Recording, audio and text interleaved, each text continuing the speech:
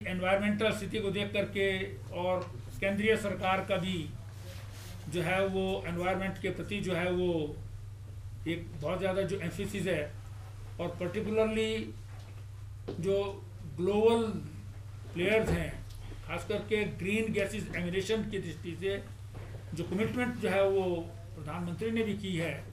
अंतर्राष्ट्रीय स्तर पर, उसको ध्यान में रखते हुए हिमाचल प्रदेश में इलेक्ट्रिक मोटर्स जो है वो उसकी एक पॉलिसी को जो है वो मंजूरी प्रदान की है कि हिमाचल प्रदेश में इलेक्ट्रिसिटी बेस्ड जो है वो व्हीकल्स यहाँ पर चले। उसको जो है वो किस प्रकार की कंसेशंस मिलेंगी?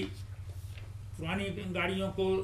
अगर इलेक्ट्रिक मोटर से रिप्लेस किया जाता है तो उसके भी, और नई गाड़ियाँ खरीदनी है, उसकी दृष्टि से भी